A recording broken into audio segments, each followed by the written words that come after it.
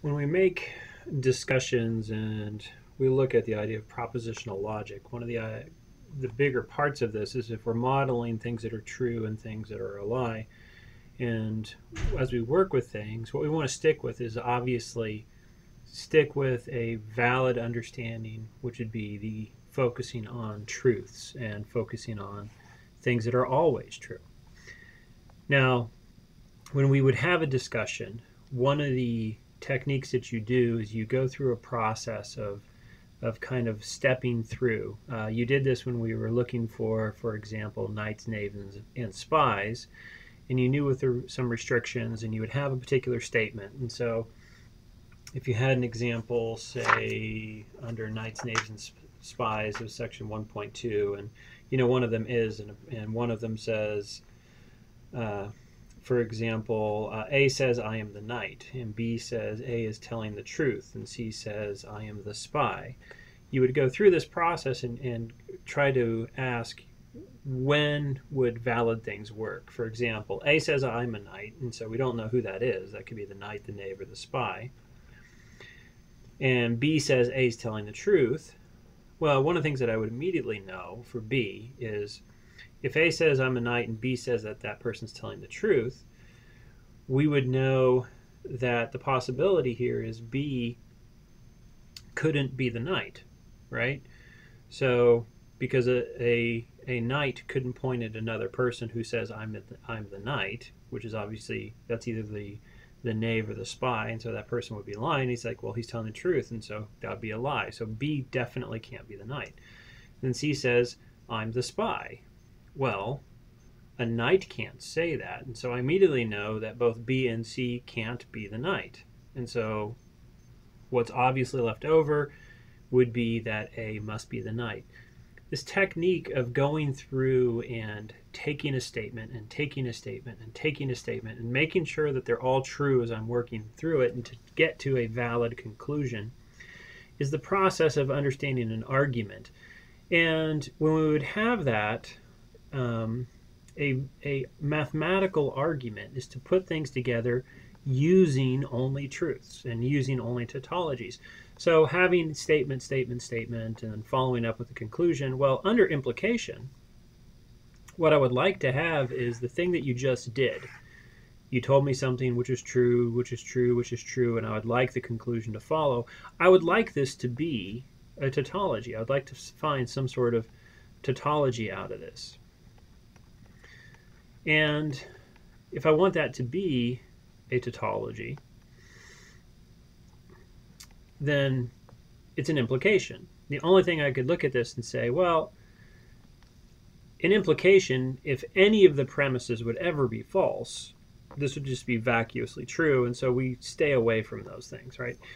That would mean that if you'd ever throw in a false statement, false is uh, dominant under and, Therefore, the entire thing would be false, and false implies anything is always going to be true. And so that's kind of a who care, right? Who cares? That's just vacuously true. It doesn't add anything to the actual argument itself. So, what we would rather have is the issue under implication is that true implies what we want to have is if the premises are all true, I need to worry about whether or not the conclusion is true is my only possibility that's happening. And then your implication would be a tautology because true implies false. If we somehow would work it out that say that that would never happen. And that's kind of the goal that we want. Now, rules of inference themselves and the words inference really is conductive to what we're talking about. We're looking for valid ways to infer a conclusion. And to be valid means it needs to be a tautology. That when we have true premises, the conclusion is true. So this is just true implies true, which means that the implication itself is a tautology and we would get something out. Now, there are typical things that we do within arguments, and we would have examples where, as a particular useful example, that says, if Mark is teaching, then the class is say math 321 and I have that I know Mark is teaching. And so I could finish off with, therefore, the class is math 321.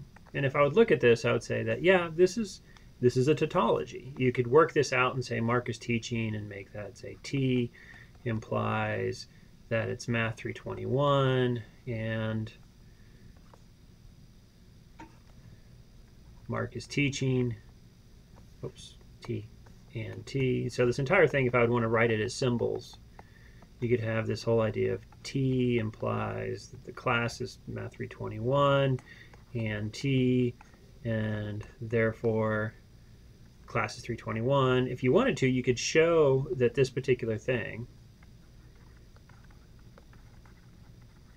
that that entire thing, which is what this means, is simply a tautology. And so given that, where you would go through these particular statements and write them in this particular way where I would have premise one, I'd have premise two, my conclusion, then given those particular words, this is actually true, and we could show it with the truth table, we could show it by discussion, we could um, show it through uh, asking about, you know, when things, uh, using logical equivalencies, I could take each of these implications and turn them into not or, and work the entire thing out as a use of logical equivalencies. And of those three ways, and eventually you could actually show that. Now, if you have something that you've said in this nature, where you have a premise and a premise and a conclusion, and this entire thing is true, given this is tautology, we can say this argument is valid. Now, what happens is if you have an argument and it's always true, it's going to be valid. If you would have an argument and if your argument was not a tautology, we would call this invalid. And what we really want to work with is valid things. We only want to work with things that are ta- you know tautologies in nature. We want to work with truths. Now, there's certain ones where I don't want to necessarily always go through, you know, what did you specifically say and write down specifics. If we could do an argument in only propositional variables,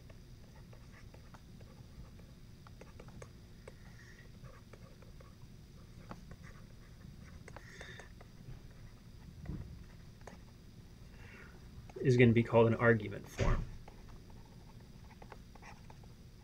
And so the one I just did, if I would simply have taken that, if I didn't tell you what TCT was, so the example that we just did of saying that I have T implies C and I have T, that all implies C, and this entire thing is a tautology. So this would be written as a a compound proposition. Uh, I could write this vertically as well. There's another notation as an argument would be writing a, so that's a proposition, this is a proposition, implies the conclusion. I could say T implies C and I have T, therefore I have the conclusion. This would be the notation in the argument form. This is the notation in the symbols form. This particular thing is a tautology. And it really, what's nice about this is it does not matter what you plug in for T or C. This entire thing would be a tautology. So if I say, if my name is Mark, then I'm sitting down. Or if I say things like, if mice drink coffee, then lions can dance. My, mice, mice drink coffee, therefore lions can dance. Doesn't matter what you say, you can put any proposition you want into there. What you can declare about mice, you can declare about lions, you can actually talk about something that you want to talk about. In the end, that formation of it is always going to be a tautology. And so this would be an example of both are, this is a tautology,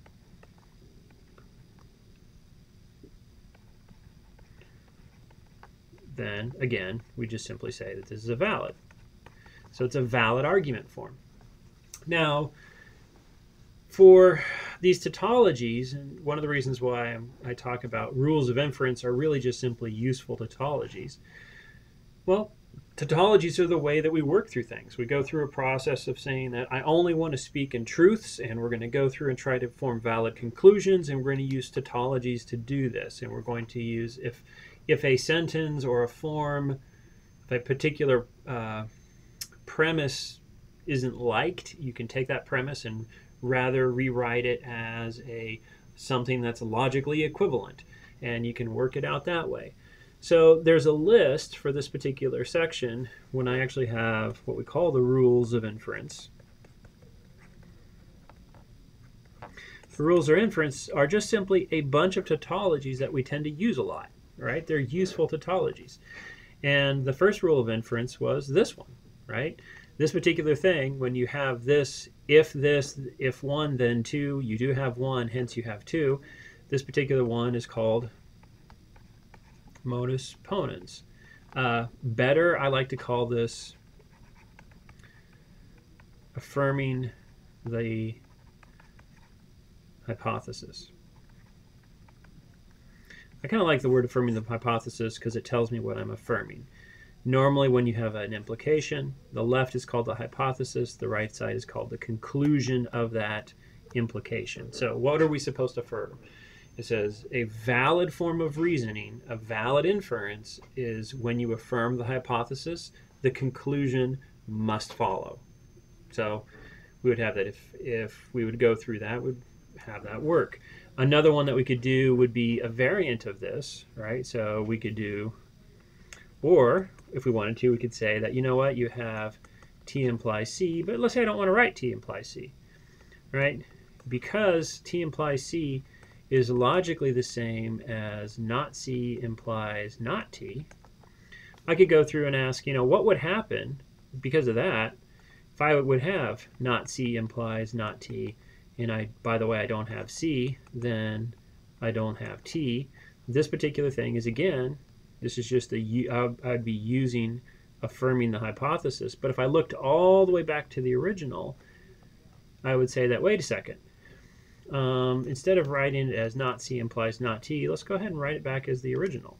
If I write it as the original, which is T implies C, this kind of looks unique to itself, even though it's actually just modus ponens. It's affirming the hypothesis hidden.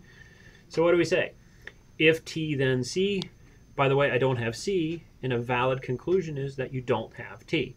So that would be things like uh, if Mark is teaching, then the math is 321. By the way, this is not math 321.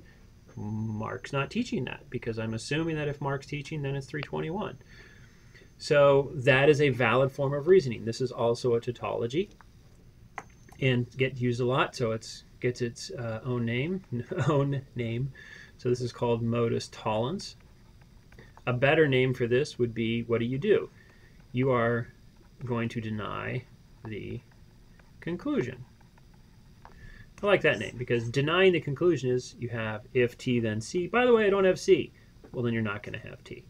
And that's to deny the conclusion. And those are valid. This actually gets immediately to an application of problems. Um, let's go to an example that I like to use just as silly humor.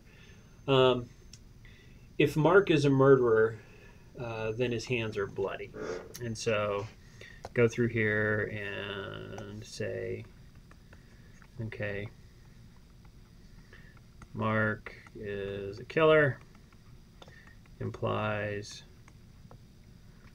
bloody hands.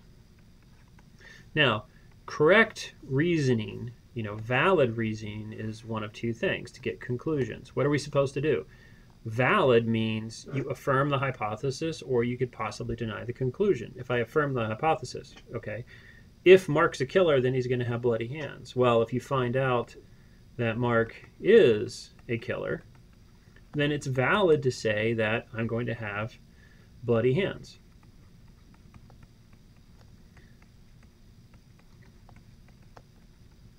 And you say, yes, Mark has done what he's, I mean, as you've done your reasoning, and affirming of the hypothesis is good, therefore the conclusion must follow. So that's one thing that you could do. On the other hand, what would happen? The other valid thing to do is actually to deny the conclusion. So we can go back here and say, well, what happens if, okay, if Mark is a killer, then he's going to have bloody hands. But you notice that Mark does not have bloody hands. Well, that automatically says that Mark's not a killer, right? Because valid reasoning is either to affirm the hypothesis, which was the example I just did, or denying the conclusion, which is this example that you see, and this is correct. Now, the problem with this in application for life is people get confused. And if you have a, if you pass off a non tautology as a rule, right? This is called a fallacy. And we usually call them fallacies, and they get their own names if they're used enough. And so, if it's a big enough mistake that lots of people do, maybe we'll give it a name. So, for example, um, let's go to the Okay, left implies the right. And then we'll look at a problem. We're supposed to have hence. Now, what am I supposed to affirm? What I'm supposed to affirm is a hypothesis. Well, what if somebody affirmed the conclusion? Example if a, if you're a killer, then bloody hands. You notice the person has bloody hands. The temptation is to say that they're a killer, right? Well, actually, let's go ahead and use those symbols. If killer, then bloody, you notice that they have bloody hands, and it's tempting to say that that person's a killer. But that's not valid, right? This is not a tautology. And this thing gets used all the time, and it's the fallacy, gets its own name because it gets used all the time, of affirming, well, what are you affirming? The wrong thing. You're affirming the conclusion. It's the wrong thing. You're supposed to affirm the hypothesis, not the conclusion. If you affirm the conclusion, you get nothing. So, for example, if you're a killer, then you have bloody hands. You notice a person have bloody hands. A person has bloody hands. You're tempted to say killer, but the valid conclusion is nothing. For example, if killer then bloody hands, well, I have bloody hands not because I killed anybody, because I fell down and scraped my hands. That's that's a simple counterexample to you calling me a killer. So obviously, doing this, if you try to affirm the conclusion, you're doing it wrong, right? This is a fallacy of affirming the conclusion. The other temptation is to say, if they're a killer, they have bloody hands, and you notice, hey, look, Mark's not a killer. Hence, you're tempted to say that, well, obviously, non killers have non bloody hands. No, that's not what I said. Non killers can easily fall down and scrape their hands and have blood on their hands. And so, even though it's tempting, right? If you're a killer, then you have bloody hands. You're not a killer, so obviously you're not going to have. No, that's wrong. So, that is also a fallacy. And this is a fallacy of you deny the wrong thing, of denying a hypothesis. And so you do you don't do these particular techniques. And so most of the fallacies that you run into are variants or misthinking about appropriate things. You forget what you're actually supposed to deny. You're supposed to deny conclusions. You forget what you're supposed to affirm you're supposed to affirm the hypothesis. So other other tautologies that we're supposed to be able to do for our rules of inference and these useful tautologies, I'll cover those here in the next video since this is running long.